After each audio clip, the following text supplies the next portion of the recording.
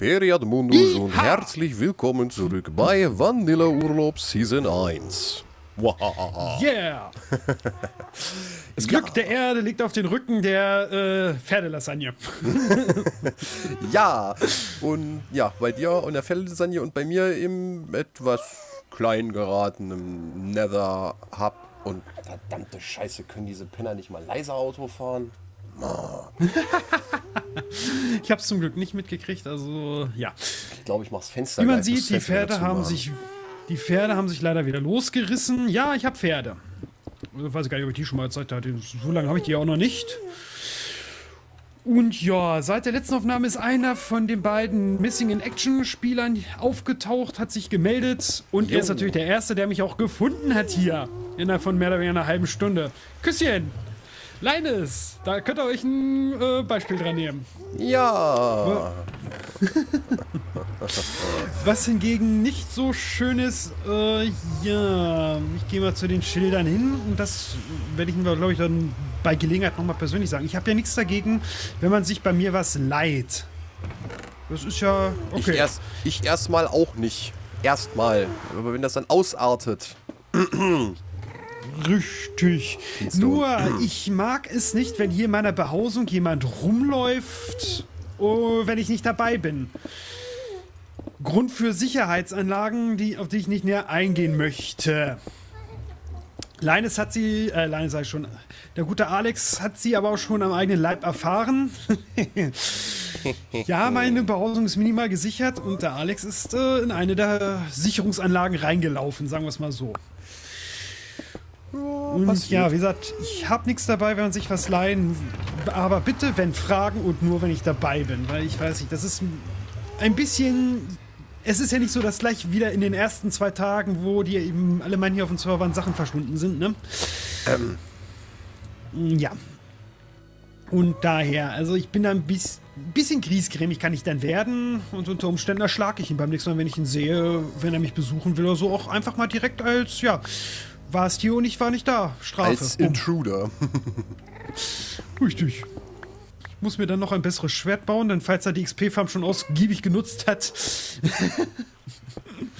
ja, und wie man sieht, wie gesagt, ich war hier zwischendurch mal oh, fleißig. Ist schon wieder Nacht. Ach, du bist ja im Nether. Ich bin ah. im Nether.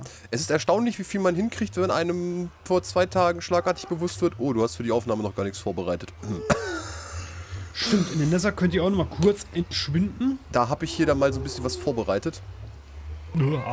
Im Übrigen, äh, ich habe dir da äh, die Rods und die Dings äh, in eine Kiste gelegt. Kannst du beim, nicht verfehlen. Ja, kannst du nicht verfehlen. Beim Spawn da? Alles klar. Ne, nicht, wenig, weniger beim Spawn, mehr da beim Durchgang. Durchgang, alles klar. Also irgendwo da bei der XP-Farm. Oder irgendwo so in der Nähe. Irgendwo da. Alles klar. Wie man sieht, ich habe hier auch so ein kleines bisschen äh, den Raum vergrößert und verschönert. Habe inzwischen auch unsere, äh, wo die wilden Pilzkühe leben, angeschlossen. Übrigens der Weg, über den der gute Alex hierher gefunden hat, weil dort halt auch ein Laserportal ist. Yeah. Aus, dass er die Insel so schnell gefunden hat, spricht aber an sich auch schon für äh, extremen äh, Erforscherdrang. Ja, ich glaube, wir haben da einen ziemlich guten. Äh, warte mal. Ja, und der ist auch pfiffig, muss man zugeben. Also, Auf jeden Fall. Jetzt, ich, da sagen wir ich jetzt. Dir ja schon berichtet, aber ja, genau. eingehen wir nicht. Lück genauso. Der hat mich auch gestern schon mal gefragt, ob ich das ausprobiert hätte bei ihm. Und äh, da musste ich sagen, nee, und da wurde er ein bisschen gnatschig. Bei ihm was ausprobiert? Hm ja bei ihm eben das ausprobiert, worüber wir uns gerade äh, nicht näher unterhalten haben. Alles klar. Er hat dann wohl schon auch, schon auch schon Besuch bekommen. Ah, da hinten ist eine Kiste. Yeah! Haben die beiden Tränke gut geholfen? Oh ja, kannst ja mal gucken, wie viel es gegeben hat. Jawohl, ja. 19 Stück, das ist doch herrlich. Und das war und das war, ist die Hälfte von dem, was ich gesammelt habe, ohne Looting. Lass die Kiste einfach mal stehen für weitere Tauschaktionen, solange. Ja, da habe ich, hab ich mir so gedacht, können wir da ja so mal ver verbleiben Richtig. lassen. Du musst dazu sagen, da der gute Reggie Lohnen farmen wollte, weiß ich, hast du dann bei dir in der Nähe noch eine Festung oder irgendwas gefunden? Nö, ich bin bei dir dann hingeflitzt. Alles klar. Ich habe hier bei, da, ich, da, ich, da, da, ich bis auf dieses Loch hier äh, in der Netherdecke, wo ich mich äh, bespaße, noch nicht weiter im Nether war, Aber wie man an der Fail-Liste sieht, mich auch schon zweimal über den äh, Dauerfackel-Bug mm, ja. leben lassen musste. Der mich ja auch ein Leben gekostet hat ich habe es neulich dann auch ausprobiert, haben mir ja auch wieder so einen Gang gemacht, kam kurz Lava, ich habe angefangen zu brennen, habe die Lava schnell zugebaut, beziehungsweise bin panisch rückwärts zubauen, damit man in Sicherheit ist, brannte, brannte, mit voller Nahrung, vollen Leben. Und als ich bei der Hälfte angekommen bin, habe ich mir gedacht, okay, jetzt wird es irgendwie komisch. Dann habe ich mal ja, es ist theoretisch Cheaten, aber ich habe da mal Game Mode angemacht, weil ich einfach mal wissen wollte. Dann habe auf die Uhr geguckt, ich habe zwei Minuten gebrannt. Ja. Obwohl ich nicht mal mehr in der Lava stand. Dementsprechend renne ich hier jetzt auch nur, eigentlich, wenn ich hier irgend, auch nur einen Block abbaue, nur noch mit Fire Potion rum. Und das ist auch der Grund, warum Reggie halt auch lohnen wollte. Einmal zu Tränke brauen. Mhm. Neverwarts, das hat er ja schon von mir. Richtig, die muss ich auch noch anbauen unbedingt. Da muss ich noch eine Farm bauen, aber ich glaube, da werde ich dann hier im Nether Hub in eine der Ecken auch noch eine allgemeine Netherwart Farm basteln. Ja, warum nicht? Und ja, da, weil er da an die Lohn wollte, habe ich ihm dann zwei von meinen Feuertränken, die ich noch auf Lager hatte, gegeben, habe gesagt, hey, bring mir ein paar Lohn mit und dann passt das schon. Und ja. Kann man ja auch so machen. Richtig, weil ohne gesagt, die Tränke ich brauch, ich brauchte effektiv sowieso erstmal primär drei, damit ich. Ähm What? Too many monsters are nearby? Wo? Katzen, vertreibt die Monster. Äh. Nein. Hallo? Wo soll ein Monster sein? Ach, Manu wird hier ja, noch durchgemacht. Mal sehen, äh, es ist wieder sehr spannend, was ich hier treibe, aber ähm, Ah, da kann ich dir erstmal mich, durch den, mich durch den Netherrack zu prügeln und äh, ja, bei der Haltbarkeit der Eisenspitzhacken, also ich glaube, ich bin mittlerweile so bei der, lass mich nicht lügen, 30. Iron Pick. Apropos, ja, Iron Picks habe ich da auch schon unzählige verballert. Ich habe ja da auch schon so den ein, zwei kleinen Gänge gebuddelt, ne? Deswegen laufe ich auch mittlerweile schon immer mit 8 rum. Ah, ach nee, die habe ich noch unten in der Kiste. Äh, mein zweites Bauprojekt ist inzwischen auch gestartet. Das werde ich aber noch nicht zeigen. Das bleibt noch unter Verschluss. Geheimhaltungsklausel und so. Genau. Na gut, also, wer da vorbeikommt, kann es nicht übersehen. Nicht unbedingt. Mm, ja, Dafür habe ich Gras gebraucht. Und Gras muss man ja Silky Touch haben. Ich habe da so drei Schaufeln in Schaden dürfen. bis ich es gekriegt habe, sprich 90 Level, Unbreaking 3, Efficiency 4, Efficiency 4, Fortune 3 und dann kam so Efficiency 4, Silk Touch 1. Ja, ja gut, mehr als 1 kriegst du ja bei Silk Touch sowieso nicht. Ja, braucht man auch nicht. Und wieder mal ohne XP-Farm, sondern alles mit normal Netherstein ja. brennen und äh, die Farmen. 32 und, ja. Level, die ich jetzt habe, gut, die sind jetzt noch von der äh, Aktion mit den Blaze, aber ähm, das ich meiste habe ich mir hier auch schon über Nether Quartz geholt, also das ist wirklich äh, verflucht gute XP. Mhm, glaube ich, ein Grund, warum Küsschen da so hinterher war. Nee, weil man damit relativ. Wo hatte ich meinen? Da hatte ich meinen. Dann so, nehme ich dann machen wir gleich mal wieder zwei Feuer-Resi-Tränke. Die brauche ich erstmal nicht. Die brauche ich. Und ich brauche. Aua. Ja, ich habe. Entgegnertür. Bereits den zweiten Speed Smelter in meiner Behausung äh, fertig, fertig gemacht. So, und ob wir jetzt mal schlafen können oder nur noch Monster nebenbei sind werde auch hier, ich habe nur vergessen, aus den Kisten Hopper zu machen, hier dann in eine von ah. der Ecken, von den Ecken äh, des Nether Hubs auch was basteln. Also ich denke mal, ich werde in eine Ecke eine Nether Ward farmen, in eine Ecke eine, eine so, so ein Speed Smelter für Sachen, die man hier im Nether farmt und also für speziell für Netherrack und so. Mhm. In eine Ecke kommt vielleicht ein Treppenhaus für eine Erweiterung, weil so wie ich es jetzt geplant habe, man sieht das hier schon mal so grob, wird in jedem der, in jedem der vier Segmente, die ich hier aushebe, drei äh, Tunnelanbindungen möglich sein mit denen man dann wie äh, der gute Lück schon etwas zurückbauen musste und auch noch ein bisschen anpassen muss, damit er hier vernünftig hinkommt, ähm, dann zu seinem Portal eine Bahnstrecke oder hinbauen kann. Ich habe nur ja. ein Problem und das sieht man hier. Vielleicht kann mir da ja mal, äh, können ja mal unsere Zuschauer mir da was zu sagen. Ich möchte hier nämlich so eine wunderschöne Zickzack-Treppe mit Nether-Brick-Stairs hinbauen. Aber das entweder normalerweise ich, auch funktioniert, ne? Und ich möchte bitte, dass in den, in den Ecken halt diese, die großen Eck-Stairs sind, wie ich sie hier habe. Das Problem ist, wenn ich in einer Ecke anfange und rüberarbeite, passiert mir das. dass eine Ecke halt nicht diese Ecke bildet. Und wenn ich es von außen nach innen baue, passiert mir das. Ich kann das gerne demonstrieren. Ja. äh... Yeah, Fire Es mag mich Resistance. nicht. Ob ich jetzt da andrücke oder da andrücke, entweder es verbindet sich mit dem oder es verbindet sich mit dem, aber ich kriege keine. Aber diese hier will sich einfach nicht in die Ecke umdrehen und die Verbindung bauen. Ja, irgendwie, wir, wie gesagt, normalerweise funktioniert das ja. Wir haben es ja auch beide mit Sicherheit schon oft genug aufgebaut, sowas. Ich schon oft genug bei Dächern und Kram. Dass das jetzt auf einmal nicht mehr funktioniert, äh, ja. Ich weiß nicht, ob War auch sehr in, irritierend. irgendwas in den Micro-Updates sich vielleicht geändert hat. Möglich. Weiß es nicht, aber vielleicht, wie gesagt, kann mir das ja mal einer sagen. Bis jetzt hat noch, also weder der Herr Okami noch. Ich weiß gar nicht, noch wen, Suki. wen hatte ich denn hier noch jetzt die Tage? Suki müsste noch mit dabei gewesen sein, gegebenenfalls. Äh, Küsschen war, glaub, ich glaube, Küsschen war da Oh, war ja. und hat sich das angeguckt. Ich weiß gar nicht, irgendwer war auf jeden Fall noch hier und wusste da auch nichts zu. Äh, Wir können schon mal ein paar Zauntore bauen. Ich mag mich, meine Erinnerung mag mich jetzt aber auch vielleicht wieder Lügen strafen. Ich bin äh, im Moment, ja. Mit den Gedanken an Orten, von denen ich selbst nicht weiß, wo sie sich befinden. Sehr schöne Umschreibung. So, machen wir mal ein paar Zauntore. Ich werde nämlich gleich die Puder-Rosa-Ranch aufbauen. Eigentlich wäre das eine Idee. Mit rosa Wolle, oder? oder Äh. rosa Clay. Ich habe da noch so ein paar rosa Schafe rumlaufen. Ich hab die auch, ich hab die auch. Ich habe die auch schon ein paar Mal abgefarmt. Wenn du welche brauchst, in der Kiste neben der äh, Sheep-Farm bei mir.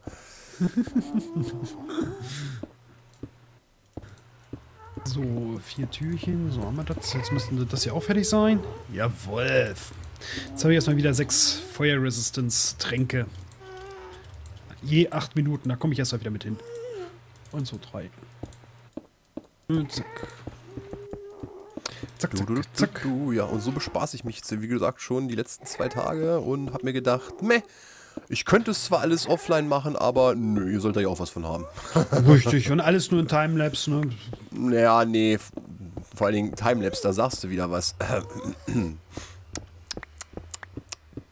Ja. Ich äh, sage mal so, zum Zeitpunkt dieser Aufnahme ist die Slime Farm immer noch nicht komplett ausgehoben und zum Zeitpunkt dieser Aufnahme, jetzt kommen wir mal zur Vorproduktion, habe ich auch noch keine einzige Timelapse gerendert. Hauptsache, du hast auf dem Schirm, wann du deine Timelapse theoretisch rausbringen musst. Ähm, na gut, von Ja, der Slime zu von der Beginn- Spoilers zu her Be- so ziemlich nichts. Zu Beginn unserer Einzelaufnahmen, die erst übernächste Woche beginnen. Ich glaube, dann muss ich nämlich auch mal eine drei oder vier Timelapse rausbringen, einen Tag davor. Erinnere mich mal daran, weil jetzt können wir wieder aus dem Nähkästchen plaudern. Es ist Sonntag, an dem wir aufnehmen und montags Ja. ist ja montags ist ja Upload-Tag. Erinnere mich morgen bloß daran, dass ich Musik raussuche. das ist effektiv der einzige Grund, weshalb die noch nicht gerendert sind. Und noch eines, was mir ganz wichtig am Herzen liegt. Seit nun einigen Folgen rendere ich auf andere Art und Weise. Schreibt mir mal dazu in die Kommentare, äh, wie sich das, die Videoqualität verändert hat. Ob sie besser geworden ist, ob sie schlechter geworden ist, was ihr davon haltet. Es ist für mich zwar im ersten Moment ein bisschen mehr Arbeit, die ich händisch machen muss. Im Endeffekt muss ich aber persönlich sagen, bei der alle- alleine vom Vorschauen hier bei mir auf dem PC ist die Qualität auf jeden Fall besser. Ich glaube, zum. Zeitpunkt, wo das hier rauskommt, habe ich sogar dann auch schon bei Blackguards damit angefangen, das zu tun. ja, das ist ja, immer so, ist ja immer noch so ein kleiner Zeitversatz. Ja, ja, wir haben zwar theoretisch dadurch, dass wir jetzt so drei Folgen nicht mehr ganz so viel Vorproduktion, was wir auch noch mal ein bisschen ändern müssen. Ja, genau. Wir haben ja auch die, mh, den äh, Sendeplan wieder etwas umgestellt. Jetzt kommen nicht nur kommen nicht drei, zwei Folgen, sondern drei, drei Folgen. Montags, Mittwochs, Freitags. Richtig. Immer um 13 Uhr. Einschalten dabei sein. So, drei, vier, so. Ja, ich glaube, ich muss meinen Berg hier halt ein Stück weit wegreißen. Naja, ich brauche Erde. Herr Okami, Ja. aktuelle Themen, über die wir uns unterhalten können. Das fange ich mal so an. Oh, das wäre schön, wenn du mal auch welche hast. Ich habe dich gefragt. Ja, ich habe mal keine vorbereitet. Ich habe mir gedacht, du kannst das ja auch machen. Ja, ja, ja, ja. Jetzt bin ich wieder dran. ähm, was haben wir denn im Moment? Gut, aktuell ist immer noch, äh, wie gesagt, durch Vorproduktion wird das wahrscheinlich alles schon alter Hut sein. Aber im Moment haben wir ja äh, immer noch die Aktion mit der Ukraine, mannigfaltig. Hm, ja, stimmt. Wo stimmt. sie jetzt ja mittlerweile anfangen, sich gegenseitig den schwarzen Peter in die Schuhe zu schieben. Richtig. So nach dem Motto, äh, nee, der eine sagt, nee, das waren nicht unsere Scharfschützen, der andere sah und behaupten, es waren die Scharfschützen vom anderen und äh, ja. Ja, das kann noch arg lustig werden. Jetzt wurden ja auch in der Ostukraine die ersten äh, Dings gesichtet. Äh, Söldner. Jetzt habe ich. Ei, ei, ei, ei, ei. Ich glaube von Blackwater. Ja, ich sag mal so, abwarten, wenn es da endlich mal richtig knallt. Mehr als bis jetzt. Ja. Das, was äh, nicht schön ist, was man eigentlich auch nicht unbedingt möchte. Aber, nein, hm. bloß nicht. Das äh, können sie gerne lassen. Weil ich dann immer nämlich so aus irgendwelchen un mir unverständlichen Gründen den Trailer von Modern Warfare 3 vor Augen habe, wo am Ende des Trailers sich das M umdreht. Man mag mich einen Schwarzmaler und Pessimisten nennen, aber äh, naja. Ja, hm, ich weiß nicht, ob das so schwarz gemalt und pessimistisch ist. Äh, leider. Leider. RR. So, das so, das so, ja.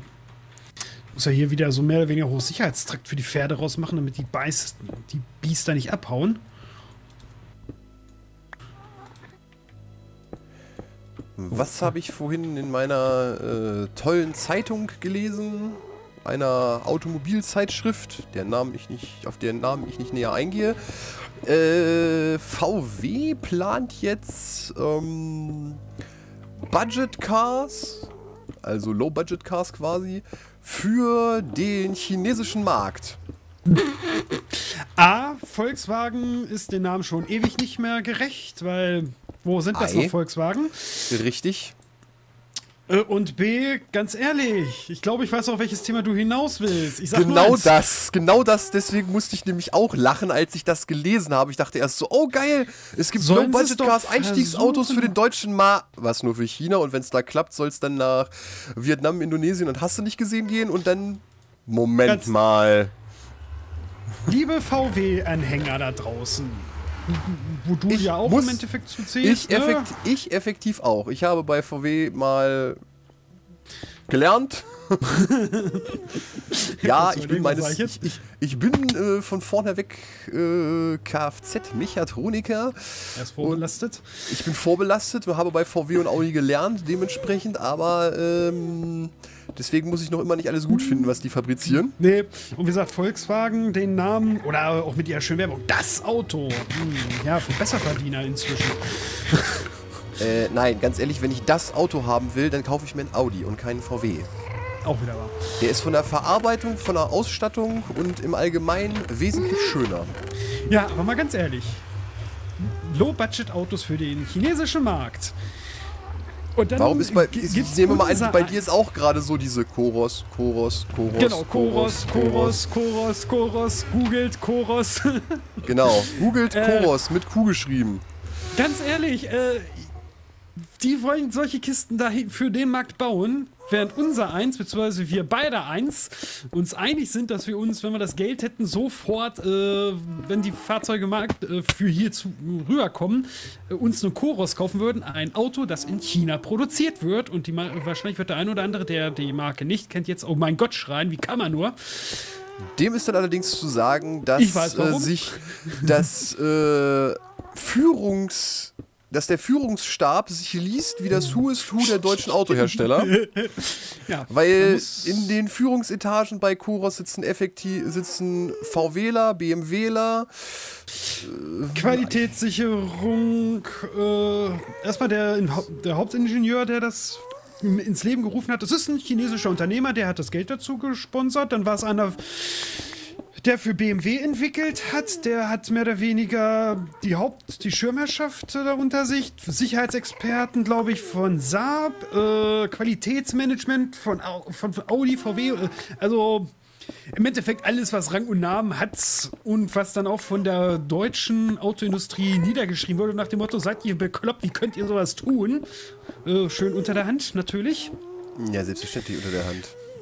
Man kann doch keine leise Kritik doch, laut äußern. Nee, er macht damit den europäischen Markt kaputt, wenn er sowas bringt. Äh, ja, ein Auto, das im Endeffekt qualitativ nach europäischen Standards gefertigt wird, zu einem Preis, ja, Vollausstattung, lass uns mal Voll, 22, 23.000 Euro kosten. Ja, Vollausstattung. Und bei Vollausstattung reden wir von einem äh, vollen Infotainment, äh, großes Navigationssystem, Lederausstattung, äh, Xenon-Scheinwerfer, Kaffeemaschine, Toaster. so ungefähr. Ja, also äh, wie das eigentlich bei den asiatischen Fahrzeugen äh, nun mal so ist, wenn man bei denen Vollausstattung kauft. Man bezahlt, wenig, äh, bezahlt weniger und kriegt ein Auto, das eine Ausstattung hat, bei dem man hier äh, so ab 30.000 aufwärts eventuell gerade noch so kriegen könnte.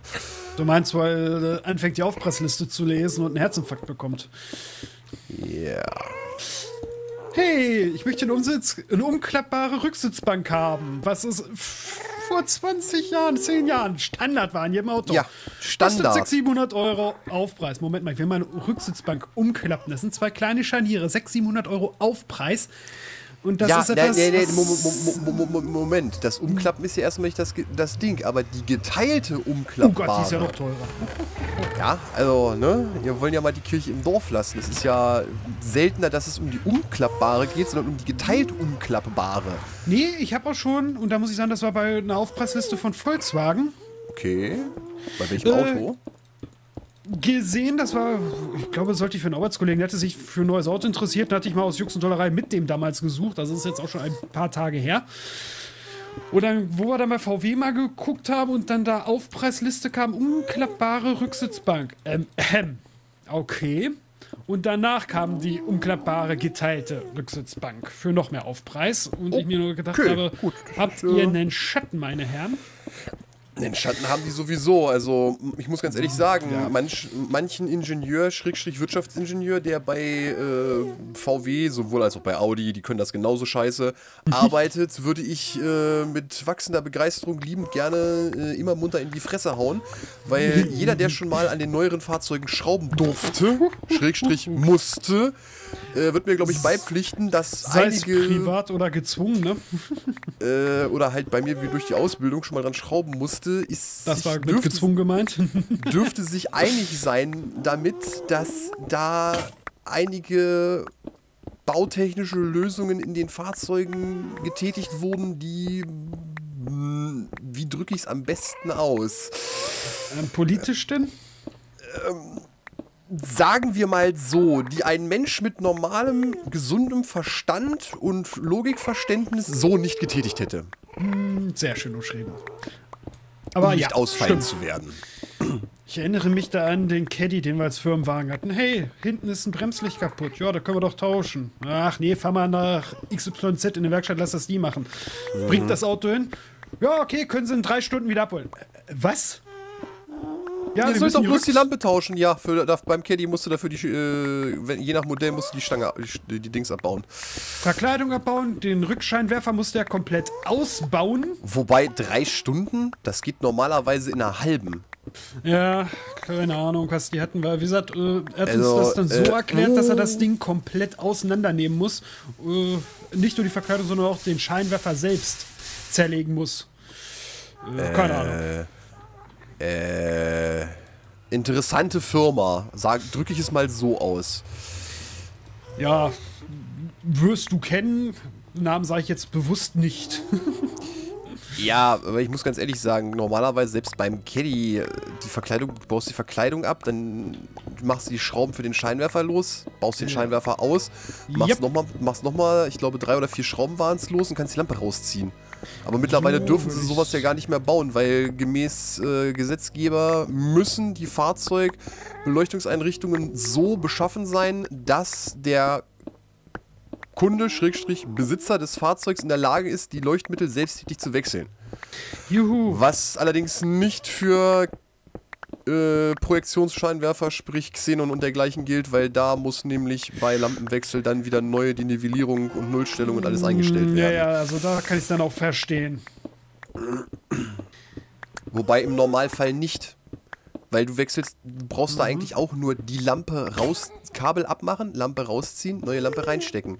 Du baust nicht an den Einstellungen rum. Die Stellmotoren und alles sitzen eigentlich an dem gesamten, mhm. an dem Trägerteil und nicht an dem, äh, an dem Leuchtmittel selber. Okay. Das Einzige, was am Leuchtmittel sitzt, ist die Leuchtmittelüberwachung. Bei höher aufpreisigen Systemen. Die dir dann sagen noch eventuell, wie lange die Lampe noch hält. Ja. Stimmt, stimmt natürlich auch. Ja, mal so ein bisschen aus dem Nähkästchen der Vergangenheit geplaudert.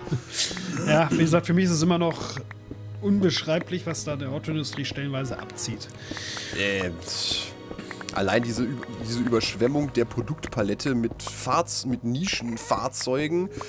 Äh, ich meine, mhm. zugegeben, den Lupo als kleinere Alternative zum Polo für Stadtverkehr, wenn man und bitte nehmt es uns nicht übel, Frauenauto. Ja, ich meine ganz ehrlich, also wenn du, wenn du den Lupo hast, den mit der guten Motorisierung, dann macht das Ding Spaß. Der macht doch Spaß, klar. Also, mal ganz aber ehrlich. Äh, mal ganz ehrlich, alles, was dann danach noch kam, dieser Fox, der Versuch, der Fox, der Versuch, einen Volkswagen wieder zu bauen, äh,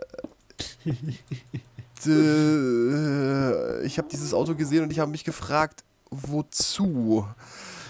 Ähm, und ja. meine nächste Frage war an den Verkäufer meines äh, Ausbildungsbetriebes: ähm, Wie viel kostet der Griff? Guckt er mich an, welcher Griff? Naja, der zum Wegschmeißen. Und wo muss der angeschweißt werden? Ich habe jetzt gerade irgendwie so ein Fiat Panda-Syndrom. Schrägstrich äh, Mabella. Ja. Irgendwo schon.